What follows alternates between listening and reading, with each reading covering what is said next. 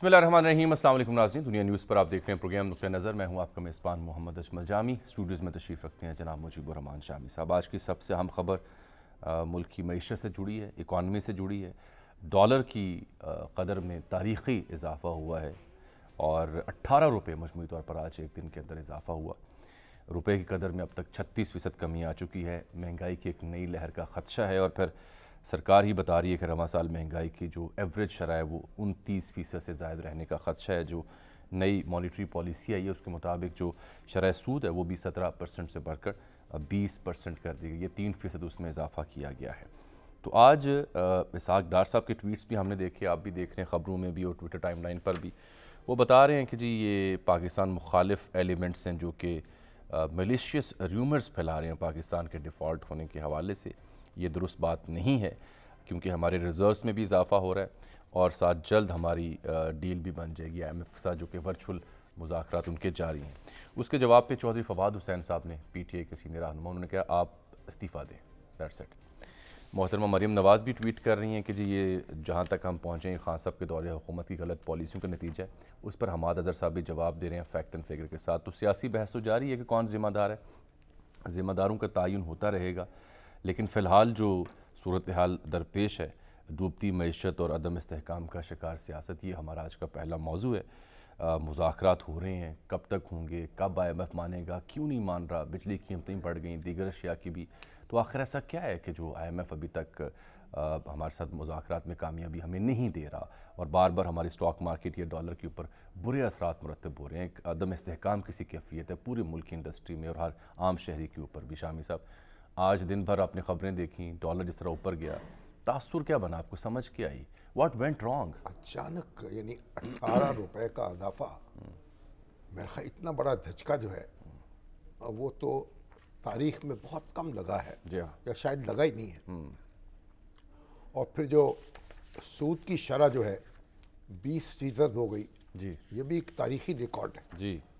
अब देखें डॉलर बढ़ेगा तो हर चीज़ पड़ेगी। अब तो हम खाने पीने की अशिया भी मंगवाते हैं गंदम भी इंपोर्ट कर रहे हैं और सबसे बड़ी तौर पर आपका देख लें तेल है जिससे बिजली बनाते हैं। हमारे हमसाये में कता कलामी को दो चार रुपए किलो प्याज रुल रहा है किसान के पास जगह नहीं है। हमारे यहाँ वो एक सौ अस्सी दो सौ तक का मिलता ही नहीं है। और हमारी अकल ऐसी मारी गई है कि हम हमसाए से प्याज मंगवाने को तैयार नहीं है तजारत खोलने को तैयार नहीं है यानी अपने आप को सजा दे रहे हैं।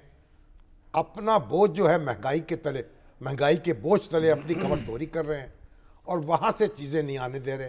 कि शायद खुर्दनोशी आ जाए जो सस्ती पड़ेंगी।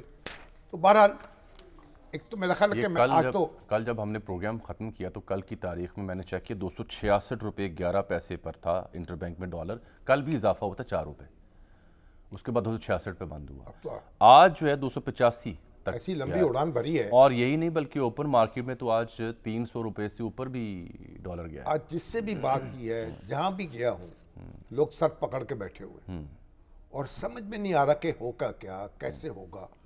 अब सागदार साहब ने कहा कि डील जो है मुकम्मल हो गई है माहा हो जाएगा। से कह रहे हैं। हमारे तारिक बाजवा साहब जो हैं हम्म। जो गवर्नर सबक स्टेट बैंक के और एडवाइज़र हैं इस वक्त वजारत ख़जाना के। उन्होंने भी ये तसली दी। ओ भाई, आप कितने दिनों से ये बात कह रहे हैं? होता क्यों नहीं है मामला? ठहराव क्यों नहीं पैदा होता? आप देखें, बेयकीनी और सियासी अदम इसकाम उसने जीना हराम कर दिया है लोगों का। अब जब चीज़ें एक दफ़ा बढ़ जाती हैं तो फिर उसको वापस आते आते भी देर लगती है। ये नहीं होता कि एक दिन में कुछ हो गया और दूसरे दिन में कुछ हो गया। तो बहरहाल कोई मिफ्ता इस्माइल साहब ये कह रहे हैं कि संजीदा मुआशी पॉलिसी नज़र नहीं आ रही। दीगर कई माहरीन कह रहे हैं कि ताखीर जो बरती गई है रिवायती तरीक़ाकार को अपनाते हुए वो भी एक बुनियादी वजह है दीगर वजूहत की बुनियाद पर। अभी अभी हमें आज प्रोग्राम में ज्वाइन किया है जनाब डॉक्टर कैस असलम साहब जी। कैस असलम साहब हमारे आज आपने उनका नामवर इनकलाबी रहनमा थे। आज। सीआर असलम। जी जी जी। उनके बेटे हैं जी जी जी जी डॉक्टर साहब वालेकुम अस्सलाम सर। आपने उनका आज शामी साहब मजमून भी एक हाँ जी रखा है। भिजवाया था आपको। जो बैंक्रप्सी वर्सेस आपका मजमून भी हमने पढ़ा है। Bankruptcy thank you sir से डिफ़ॉल्ट तक और सर पकड़ के बैठे हुए हैं। अब होगा क्या? करना क्या चाहिए? नहीं नहीं पहले तो ये पूछे ना हम खड़े कहाँ हैं? क्यों डॉक्टर साहब? आज जबकि अट्ठारह रुपए की छलांग लगी है डॉलर को और शरह सूद भी बढ़ गई है तो इस वक्त हमारी स्टेट ऑफ़ इकोनॉमी है क्या? फिर शामी साहब की बात पे जाइएगा कि हाल क्या है। खड़े भी हैं कि नहीं है? हाँ। देखिए सर बात यह है कि मुझे जो नज़र आता है वो अनकन्वेंशनल बातें करूँगा। वो ये है कि सट्टेबाजों की और स्मगलरों की और चोर बाजारों की और रिश्वतखोरों की ईद लगी हुई है। हम्म, वो पैसा बनाई गया जा रहे उनकी हैं। पाकिस्तान। जी उनका पाकिस्तान बन गया है। कौम तो बेचारी अब अ, अ, इस हालात में चली गई है। आपकी इन्फ्लेशन रेट अब 45 परसेंट के करीब हो गया है। इसका मतलब यह है कि जिस शख्स ने भी एक रुपया कमाया है तो उसके पास अब 55 पैसा की चीज़ वो खरीद सकता है। ठीक। इतनी कमी हुई है तकरीबन आधा जो है कुत खरीद कम हो गई है। यानी रुपया जो है वो पचास पैसे। का रह गया। आसान लफ्जों में। ओपन ओपन मार्केट में तो 300 से ऊपर चला गया। हम्म, तो उसकी वजह से आपकी जो इंपोर्ट्स हैं वो महँगी होंगी। आपकी जो एक्सपोर्ट्स हैं वो सस्ती होंगी। आपकी जो खजाना है वो खाली होगा, रुपयों में जो कर्जा है वो बढ़ जाएगा, टैक्स ज़्यादा लगाना पड़ेगा तो लोगों को और मुश्किलें होंगी। आपकी बिजली जो है वो साठ फ़ीसद बैरूनी तेल से आती है, जिसका मतलब ये है कि वो महँगी होगी। आपकी गैस भी बाहर से आ रही है, आपका अनाज भी बाहर से आ रहा है, आपका खुर्दनी तेल भी बाहर से आ रहा है। तो ये ये छलांग जो है ये तो स्पेकुलेटिव है। हम्म, कोई और कारोबार नहीं है जो तीस पैंतीस चालीस रुपए कमा दे डॉलर के अंदर सौ डॉलर के। हम्म, और मेरा ये ख्याल है कि इस वक्त जो कारोबारी लोग हैं मिडिल और स्मॉल वो अपने असासे बेच के डॉलर खरीद के मुल्क से बाहर भेज रहे हैं। यहाँ से अ, अ, पैसे बाहर भेज रहे हैं जिसकी वजह से ये आज तो ज़रा बड़ा इसलिए भी है कि एल खुली होंगी पहला दिन है मगर असल तो स्पेकुलेटिव है पैसे बन रहे हैं उन लोगों के जिनके पास टैक्स जो नहीं देते और जो ग्रे इकोनॉमी और ब्लैक इकोनॉमी है। एक कारोबार नहीं चल रहा। आपने 20 फ़ीसद पे कर दिया शराय सूद। जी। इसका मतलब यह है कि और महँगा कर दिया आपने कारोबार करना। तो दोनों आपके कुत खरीद भी कम हो गई इन्वेस्टमेंट भी मुश्किल हो गई तो इकोनॉमी और बैठेगी। और हिको- हुकूमत कोई पॉलिसी इस किस्म की नहीं दे रही जो प्रो पीपल हो प्रो इन्वेस्टर हो। वो उनको वो टैक्स लगाने के अलावा उनको कोई काम ही नहीं है। इसमें जो मिफ्ता इस्माइल साहब कहते हैं कि संजीदा मुआशी पॉलिसी नज़र नहीं आ रही। और फिर अपनी गुफ्तु में वो ये भी कहते हैं, तखीर की गई है मामला फहमी में आई एम एफ़ के साथ रजू करने के मामले में। और गलत फैसला था उनको हटाने का। डार साहब ने आके जो पॉलिसी चलाने की कोशिश की, वो बुरी तरह नाकाम हुई, फिर उन्हें ट्रैक वन पर जाना पड़ा। ये जो ताख़ीर है, ये किस हद तक बड़ी ज़िम्मेदारी है यहाँ तक हालात पहुँचाने में? देखें सर, मैं मैं मैं ये बात मानता हूँ कि मिफ्ता इस्माइल साहब जो थे वो आ, आ, उनकी पहली मुलाजमत भी आईएमएफ में थी वो आईएमएफ को जानते थे। वो ए, एक बड़े इकोनॉमिस्ट हैं उनको इकोनॉमी की ऊंच नीच पता है। डार साहब जो हैं वो फाइनेंशियल एक्सपर्ट तो कहते हैं मगर उन्होंने आते ही आईएमएफ को आँखें दिखाई। दिखाई जिसका बदला ले लिया है आईएमएफ ने। ताखीर किए जा रहे हैं। वो आपको ट्रांसपेरेंसी मांगते हैं आप नहीं दे सकते। वो आपके एहसासों की हिसाब मांगते हैं आप नहीं दे सक रहे। वो आपका जो है पावर्टी एलिविएशन का प्रोग्राम मांगते हैं जो आपके पास नहीं है।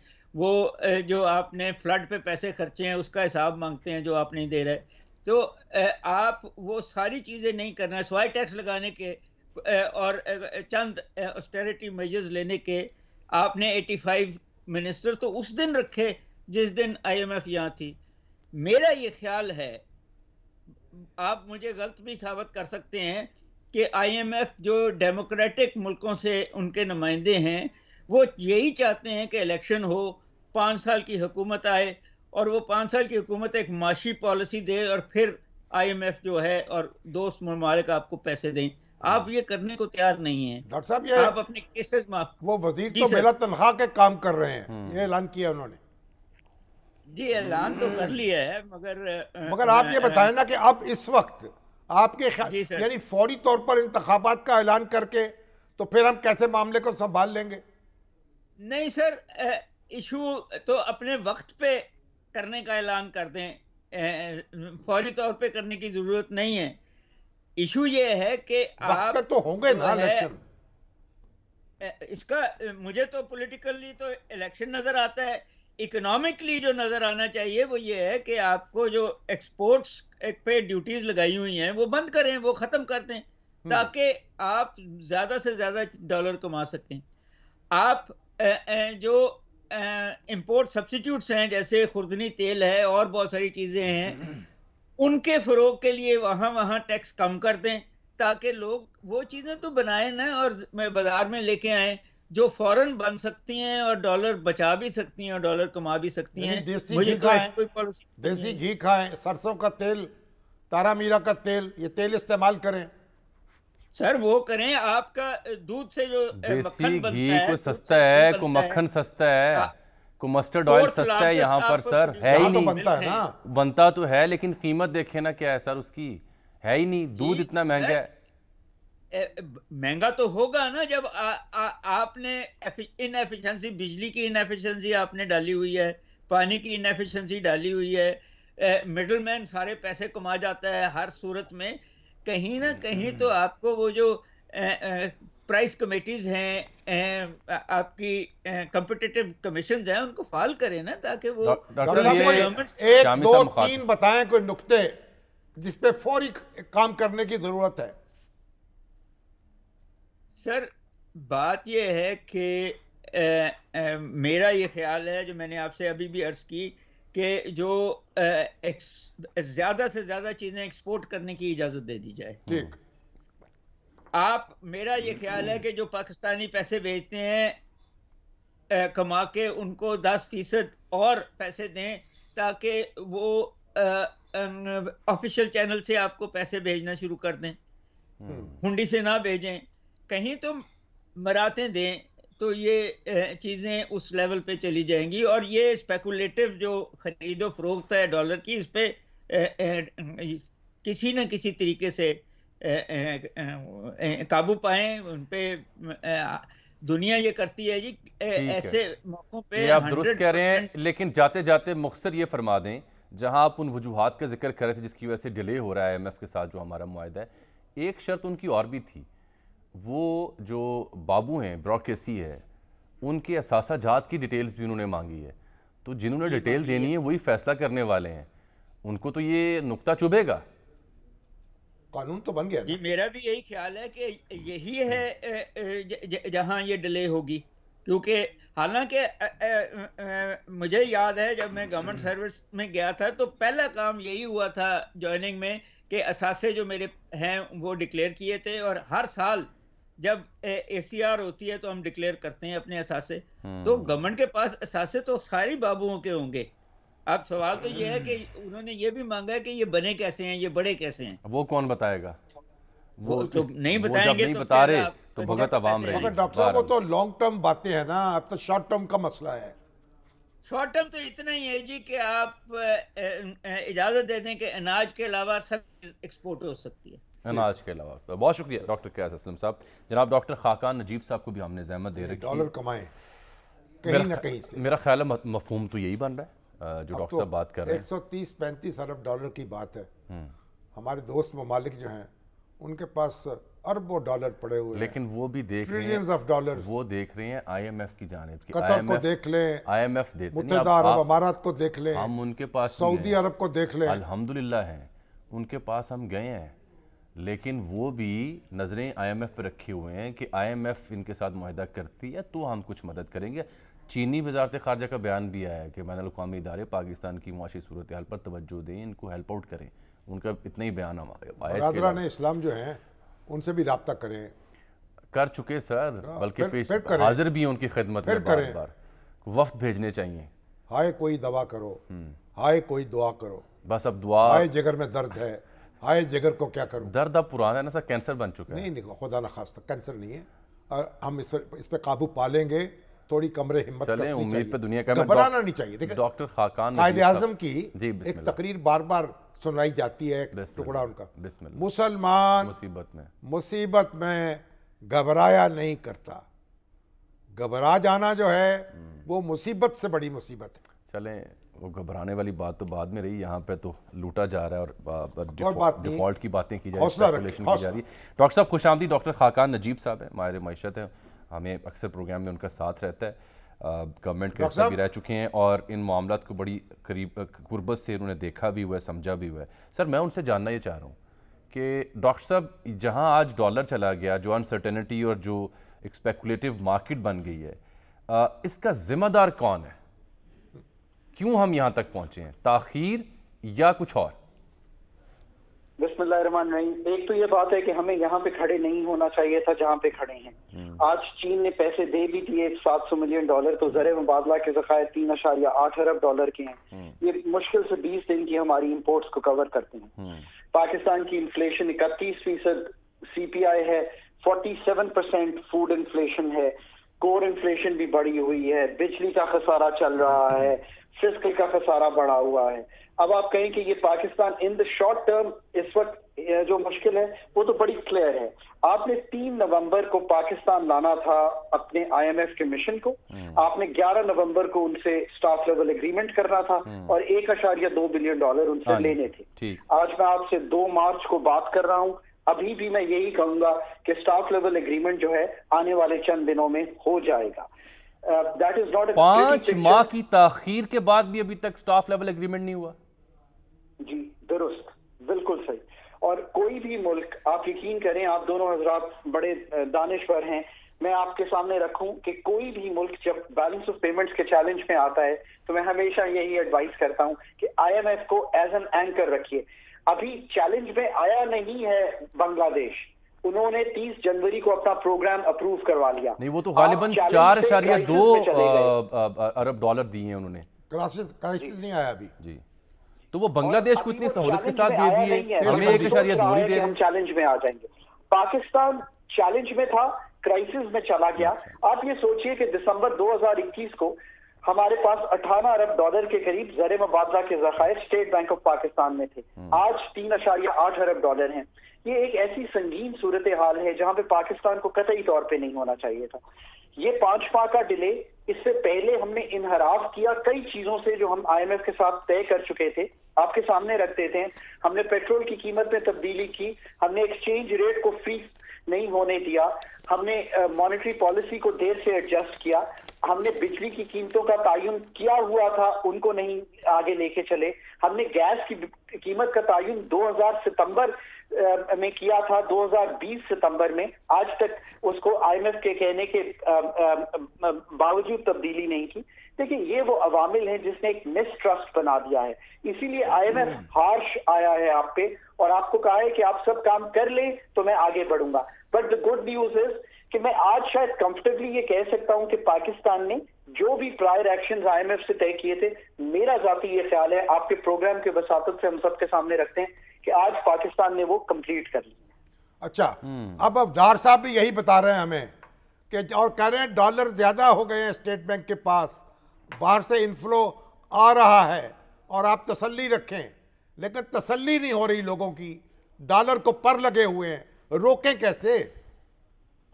देखिए ये बात दुरुस्त है कि आज आपने ये कर लिया है पर अगर आप यही चीज़ 10 नवंबर को कर लेते और आप स्टाफ लेवल एग्रीमेंट कर लेते। तो ये जो मार्केट्स की डिसऑर्डरली मूवमेंट है ना, एक तो यह कि आप ऑर्डरली चल रहे थे, आहिस्ता आहिस्ता रुपी नीचे भी जा रहा था, वापस भी आया, आपने कई दफ़ा देखा। जब आईएमएफ का प्रोग्राम उनतीस अगस्त को रिवाइव हुआ, सातवां, आठवां रिव्यू हुआ तो रूपी जो है वो अप्रिशिएट किया। अब अब आईएमएफ का प्रोग्राम अगर हो जाएगा तो मैं आपके सामने रख सकता हूँ कि मेरा ख्याल है दो से तीन अरब डॉलर आपको वर्ल्ड बैंक एडीबी आईडीबी की सपोर्ट आ जाएगी। चीन से एक अशारिया तीन बिलियन डॉलर और आ जाएँगे।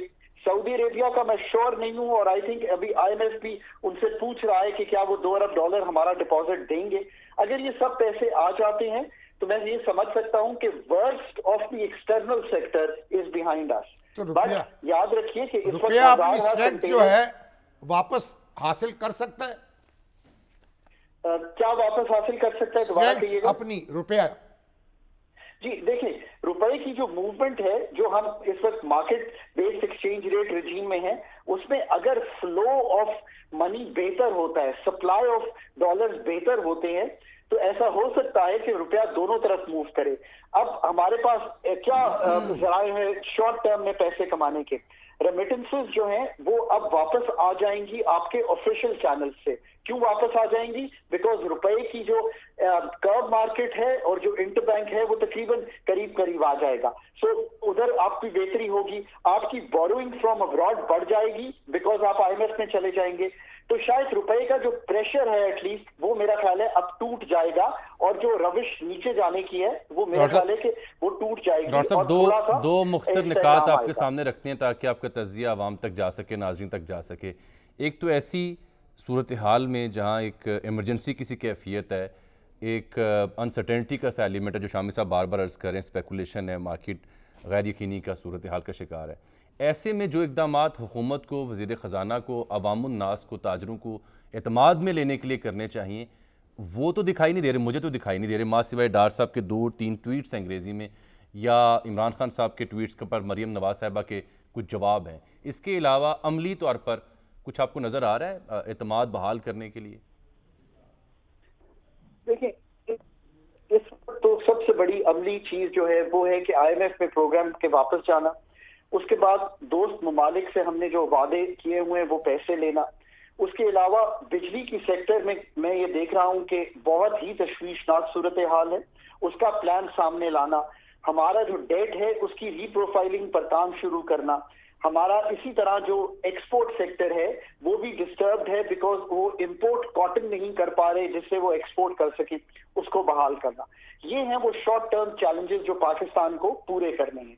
आप दुरुस्त कह रहे हैं कि वो जो होना चाहिए इस वक्त एरिया ऑफ़ कंसर्न जो होना चाहिए लेवल ऑफ़ कंसर्न जो सिवेरिटी ऑफ़ कंसर्न वो मैं कहीं पे भी शायद नहीं देख पा रहा और शायद अंडरस्टैंडिंग नहीं हो पा रही कि पाकिस्तान खड़ा हुआ कहाँ पे और उसके बाद जो ज़रूरी हो गया है कि एक सर्टिनिटी क्रिएट की जाए ये पॉलिटिकल सर्टिनिटी क्या होगी इलेक्शंस कब होंगे और उसके साथ साथ एक आईएमएफ का आपको जून में दोबारा प्रोग्राम लेना पड़ेगा।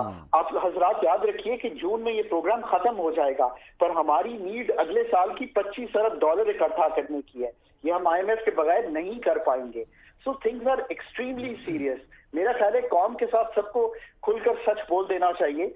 मेरा ख्याल है कि पोलिटिकल पार्टी कौम के साथ सच नहीं बोला जा रहा बल्कि एक दूसरे को मौरूद इल्ज़ाम ठहराया जा रहा है। मुश्किल सवाल होगा गालिबा आपके लिए, क्योंकि आपकी डोमेन ही है, लेकिन मैं इसी नुक्ते को उजागर करना चाह रहा हूँ। आपके सामने भी शामी साहब के सामने इमरान खान साहब ये कहते हैं कि इस कदर में बासठ फ़ीसद जायद या डॉलर के मुकाबले में एक सौ दस रुपये की गिरावट की शक्ल में पी डी एम ने ग्यारह माह में रुपये को अमलन ज़िबा कर दिया है। इससे कर्जों में चौदह अशारिया तीन खरब का इजाफा हुआ है और महँगाई इकतीस अशारिया पाँच फ़ीसद पचहत्तर साल की बुलंद तरीन सतह तक जा पहुँची है। तो जवाब में मरियम साहिबा कहती हैं कि ये तुम्हारी बेरहम लूटमार नाहली गलत तरजीहत आईएमएफ के साथ ालिमाना डील और उसकी खिलाफ वर्जी है जिसकी वजह से हम यहाँ तक पहुँचे हैं। हुक्मरान तो इस बहस में बिज़ी हैं। सच किसने बोलना है आवाम के साथ सर? सच तो बोलना पड़ेगा कि आपका बिजली का खसारा जब आपने आईएमएफ को लिख के दिया तो एक आधा वक्त पहली हुकूमत थी फिर ये हुकूमत आई। वो इस साल का नौ से नौ सौ बावन अरब रुपए का है। कैन यू बिलीव कि 952 बिलियन रुपीज़ आपने उनको कहा कि ये हमारा सर्कुलर डेट मैनेजमेंट प्लान है। अगर हम कुछ नहीं करते तो ये खसारा होगा। ऐसा सोचना भी मेरे लिए मुश्किल था कि इतना बड़ा आपको एडजस्टमेंट करना पड़ेगी। तो आईएमएफ ने आपसे वो एडजस्टमेंट कराई। आपने सितंबर 2020 से गैस के निर्ख नहीं बढ़ाए थे आपको गैस की तब्दीली करनी पड़ी। आपका फ़िज़िकल आपका मालियाती खसारा पिछले साल आठ फ़ीसद के करीब था जीडीपी का। ये सब वो हालात हैं जो कि इस वक्त पैदा हो गए हैं। मैंने आपके सामने शॉर्ट टर्म के तो ज़रूर चीज़ें रखी जो आपको करना पड़ेंगी। पर आपको मीडियम टर्म में जब तक कोई मुस्तकम प्लान नहीं रखेंगे और ये पहले मानेंगे नहीं कि पाकिस्तान पॉलिसी रीसेट मांग रहा है।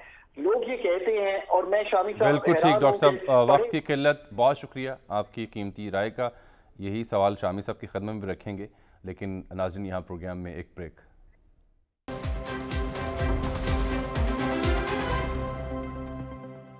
वेलकम बैक नाजिन जो मुआशी सूरत हाल है, शामी साहब, और जिस तरह रहनुमा एक दूसरे को जवाब और ज़िम्मेदार करार दे रहे हैं, इससे तासुर उभरता है कि इन्हें तो फ़िक्र नहीं है। इस हंगामी सूरत हाल की तो पॉलिटिकल पॉइंट स्कोरिंग में है। फ़रीक एक दूसरे को ज़िम्मेदार करार दे रहा है, और फ़रीक दोम जो है वो पहले को ज़िम्मेदार करार दे रहा है। और अपनी अपनी जो पॉलिटिकल फोटे उसको उस पर निगाह में डाली हुई है। कोई अमली तौर पर तसल्ली तशफ़ी वादा तयक्न देने के लिए कोई सूरत नज़र आ रही है आपको देखें कोई पैगाम तो देना आपकी सुनते हैं ये सब। अगर मिसाली सूरत हाल हो तो ये सबको इकट्ठे बैठ जाना चाहिए। सब जो माहरीन है ना मुख्तलिफ़ जमातों के जेर असर हैं उन सबको इकट्ठा बैठा दें। आप कह रहे हैं शौकत तरीन साहब भी। शौकत तरीन साहब हों डार, साहब मिफ्ता इस्माइल। मिफ्ता इस्माइल हों ये खाकान बाबर हों और जितने हाफिज़ पाशा हों वो हमारे वक़ार मसूद साहब हों जितने सब हजरात हैं ये सब इकट्ठे बैठ जाएँ। फिर? और एक लाहे अमल बनाएँ कि इस रास्ते पे चलकर हमें अपनी मुश्किलात को आसान बनाना है इनका सामना करना है। अगर ये ऐसा कर लेना कौम में हौसला पैदा हो जाएगा।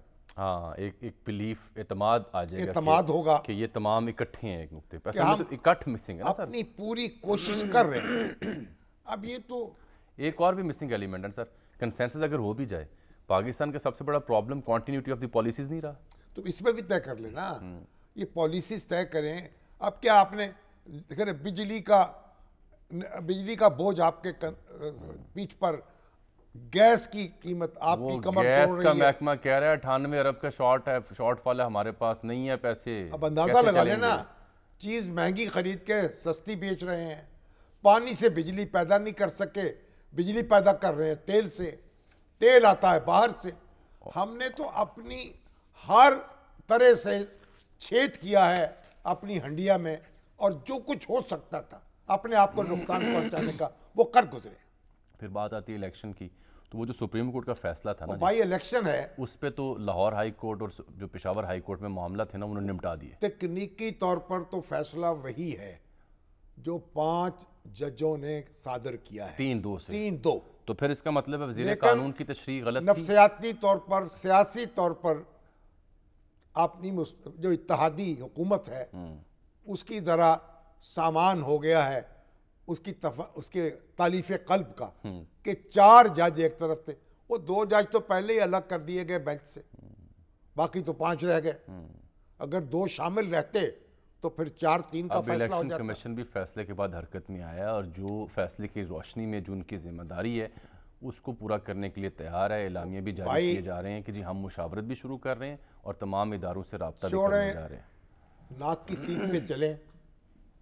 इलेक्शन तक जाएँ सुबाई अगर पहले कराने पड़ते हैं पहले करा लें कौमी बाद में हो जाएँगे। ये उस ये तो तो अगर सूबाई पहले भी करवा लें फिर जो उस वक्त एतराज़ आएगा कि जनाब फलां सूबे में तो फलां जो हुकूमत थी कौमी असम्बली के इंतबात में तो तो असरात मुरतब होंगे। असम्बली जो है दो ताई अक्सरियत तो है नहीं उसमें किसी के पास। अमेंडमेंट कर देते कॉन्स्टिट्यूशन। में या फिर दिल कड़ा करके फैसला करें फिर अदालत के पास चले जाए। एक दिन कर लें ये ऐलान तो कर दें। आपस में बैठ के। अब मुझे ये खदशा है कि ये चाहे मिनुआन इलेक्शन कमीशन सुप्रीम कोर्ट के फैसले पर अमल करे या ना करे हर दो सूरतों में जो अभी सूरत हाल की समझ आ रही है मामला दोबारा सुप्रीम कोर्ट जाना है कि देखें जी तोहन अदालत हुई जो आपने हुक्म सादर फरमाया था उस पर अमल दरामद नहीं हुआ इतने दिनों के अंदर इंतखाब की कोई राह नहीं निकली ना ही शेड्यूल जारी हुआ है लिहाजा आपकी कोर्ट में दोबारा बॉल है।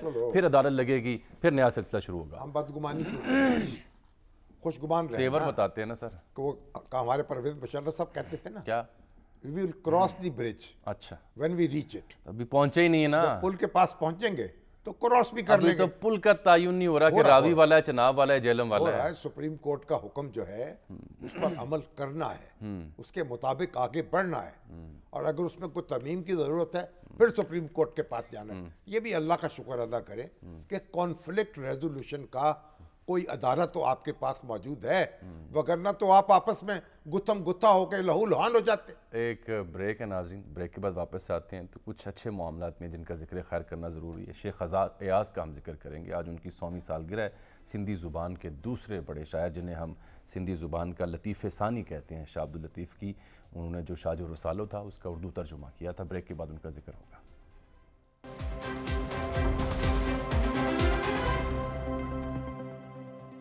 वेलकम बैक नाजीन हमारे साथ प्रोग्राम में शरीक गुफ्तु होने जा रहे हैं जनाब मुर्तज़ा सोलंगी साहब। सहाफ़ी आप तजिया नगार हैं लेकिन आज हम इनसे सियासी या किसी और मामले पर बात नहीं करेंगे। आ, सोलंगी हैं सिंध धरती से ताल्लुक़ है तो हमने इन्हें जहमत दी है शेख अयाज साहब के बारे में बात करने के लिए। आज उनकी समी सालगिरह है। और सिंधी ज़ुबान के लतीफ़े सानी थे पाकिस्तान बनने से पहले उनका एक गीत जो था वो सड़कों पर गूंज रहा था। बुला दो साम बुला दो हला दो समाज को गिरा दो साम्राज्य को लाओ नया निज़ाम जो पसंद करे अवाम जो पसंद करे अवाम। बिल्कुल। इनकलाब इनकलाब गौ इनकलाब गौ इनकलाब सबसे बड़ा उनका कारनामा यह है कि शाह अब्दुल लतीफ़ भटाई का जो शाहजो रसालो था उसका उर्दू तर्जुमा किया। इन्हें लतीफ़ सानी भी कहा जाता है सिंधी ज़ुबान की जी सिंधी ज़ुबान में इन्हें लतीफ़े सानी कहा जाता है। बे- तो बेमिसाल सोल- सोलंकी साहब अब दीगर मौजूद बातें होती रहेंगी। शेख अयाज सौवीं सालगिरह लतीफ़ सानी। नाजरीन को बताएँ कि कितने खुश वक्त है हमारी धरती के हमारे यहाँ शेख अयाज रहे हैं। शेख अयाज बहुत बड़े शायर थे। और मेरी खुशकिस्मती है कि मुझे कुछ वक्त उनके साथ गुजारने का मिला। अभी जो शामी साहब जिस नज़्म का ज़िक्र कर रहे थे वो सिंधी में है धोड हिन समाज खे लोड साम्राज खे ठाह को नौ निज़ाम ही निज़ाम आ ख़राब इनकलाब इनकलाब। तर्जमा तो शामी साहब ने पहले कर दिया। शेख अयाज आज से सौ साल पहले सिंध का जो शुमाली सकाफती और तजारती मरकज़ है शिकारपुर शिकारपुर। वहाँ पर पैदा हुए थे और वो अरबी और फारसी के माहिर थे। हम्म, इसलिए उन्होंने शुरू जब की अपनी शायरी तो वो उर्दू में थी। हम्म, और उनके कम अज़ कम तीन मजमुए मुझे तो मालूम है कि वो उर्दू में हैं। जी। बाद में फिर उन्होंने 1950 के अशरे के बाद सिंधी में शायरी शुरू की।